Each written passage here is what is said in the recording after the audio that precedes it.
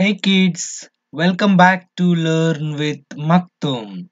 In this video, we will discuss second standard EVS lesson number 6 that is varieties of food.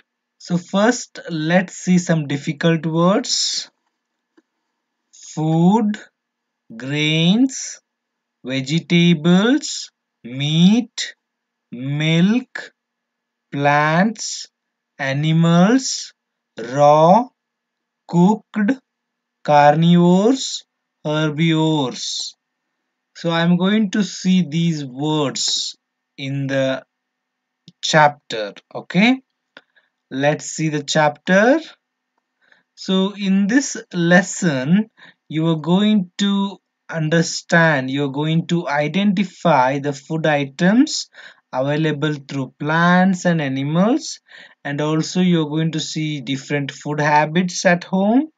And we will name some food which we eat raw and cooked. And we are going to see the utensils which are used for cookings. And also you will recognize the food of the animals.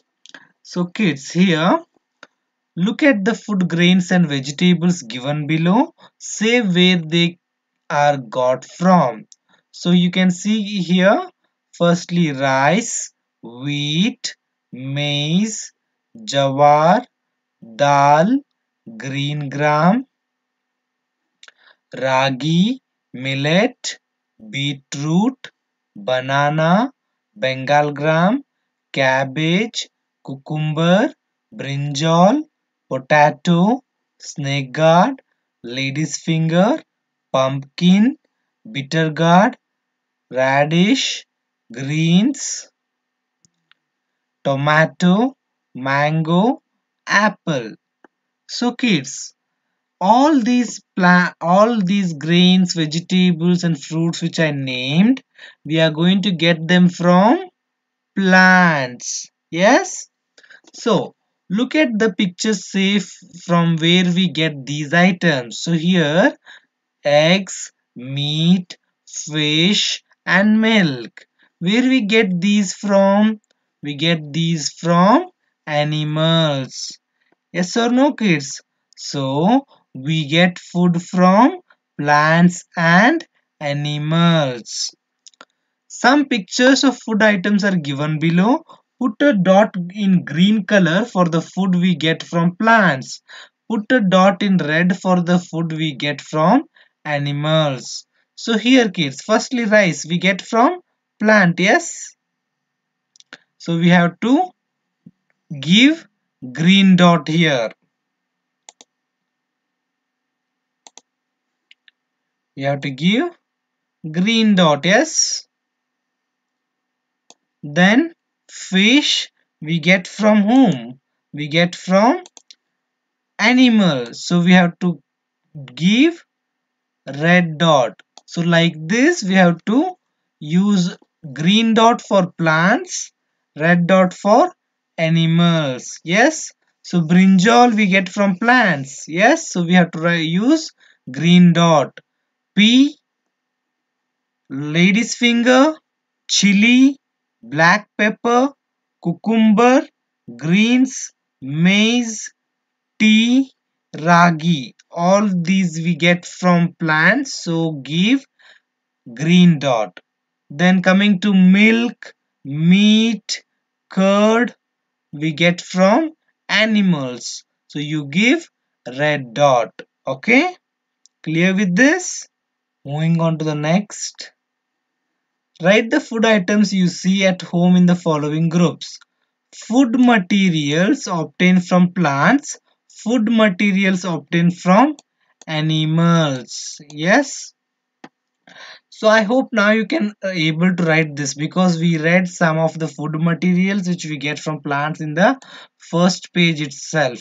So go through that first page and second page and write these answers. Okay? And kids here you can observe this is a vegetable. Yes? Which vegetable is it it is a hell it is healthy and it is eaten raw. This is what? It is a carrot. Yes no? It is a carrot. Yes? Then second one it is very tasty if it is eaten raw. What it is? It is a tomato. Yes?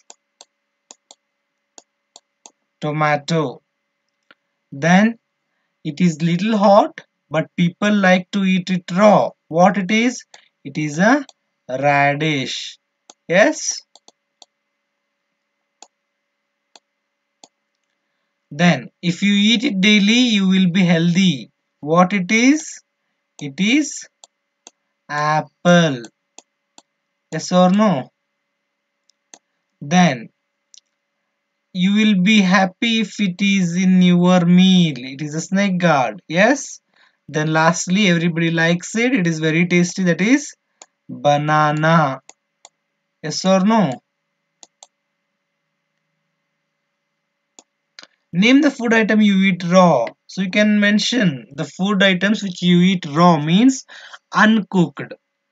Those are like cucumber radish banana and you eat all the fruits raw. Yes or no? Orange yeah? Mango you eat raw. Yes or no? So we eat some of the food items in their raw state. Yes or no? Okay name five food items which you eat raw and five cooked items you eat. So raw items like i said already cucumber radish carrot yes orange pineapple. Yes you can mention those here. And the food items which you eat which you cook and eat like rice yes dal yeah. So fish meat yes we will cook and eat. Yes or no? So you have to write those here it is good for health to eat vegetables like carrot radish and cucumber raw.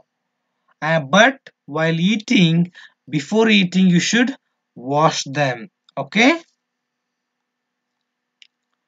So i have mentioned here carrot radish cucumber carrot apple banana potato cauliflower lady's finger spinach all those you have to cook and eat with that you can add meat. Yes. Rice dal. Okay. So here. Collect small pictures of different food materials classify them and paste them in the space provided. Food materials obtained from the plants fruits vegetables flour tea coffee all we get from the plants then from animals we get beef pork egg milk chicken. Yes? So you can attach the picture also if you want. Small pictures you can attach like some uh, small picture of any fruit or vegetable or flour or tea or coffee. You can attach a small small pictures okay so here Kamala and Raju have their breakfast before coming to school. They have lunch in the afternoon along with their friends. They eat fruits after going home from school. Then they engage themselves in studies. All the members of their family sit together and have dinner. So kids you here you see four words yeah? So breakfast we do in the morning. This is a morning time we eat food that is called as breakfast. In the afternoon we eat food that is called as a lunch. In the evening you will having snacks. Then lastly in the night you will have dinner. Okay? So write the food habits of your family in two sentences. So you can write about your food habits in two sentences. Means you can say like i eat idli as a breakfast. I eat rice sambar as lunch yes like that you can you have to write two sentences okay? Then name the three dishes that are prepared in your house. You can write anything like you can say idli vada dosa chapati roti rice dal anything you can write okay? Where do you have your lunch? With whom do you eat? What do you eat? So here is a question for you kids. Where do you have lunch? In home or in school? Where do you have your lunch? That you have to write and with whom do you have it? Whether with your parents or with your friends? And what do you eat in the afternoon lunch? We eat rice sambar chapati yes roti yes. With whom do you have dinner? What do you like to have for dinner? So this these are the questions for you kids. You can think and write okay do the members of your family and you have the same food habits? Are they different? If they are, how and why? You can write this is a general question for you. Okay. Then, which utensils is used to cook and cook food in your house? So here, a tumbler? No, it is used for storing water. Then a pot? No, nowadays we are not using pot. In the earlier days, in the olden days we will be using pot to cook but nowadays no one is using. And the glass we use to drink water yes? So in this vessel we can use it for cooking. And in pan yes. And in this yes we can cook. And in cooker yes we use. So remaining and also here the yes here it is used for coffee or tea preparation yeah so remaining elements we we will not use for cooking. Either we use for storing water or to eat food. Yes? Clear with that? Then observe the following animals and their food. Discuss with your friends. So here cow is eating grass. Fish is eating fish is eating some small fishes and some algae in the water. Sheep eats grass. Then elephant eats grass. Then the lizard eat cockroaches or you can say insects. Yes? Rabbit eats carrot. Then the lion eats lion hunts another other animals. Lion hunts other animals and eat them. Then the pigeon eats grains. Then the squirrel eats nuts. Yeah then the frog eats insects, that is grasshopper. Then the bird eats grains. Then the sheep eats grass. Okay. So some animals eat only food that they get from plants. Those are called as herbivorous. Those are called as herbivorous. Herbivorous animals means the animals which get the food from the plants, those are called as herbivores. And the animals which get food from other animals, those are called as carnivores. Remember this kids. The animals which eat plants are called as herbivores and the animal which eat animals are called as carnivores.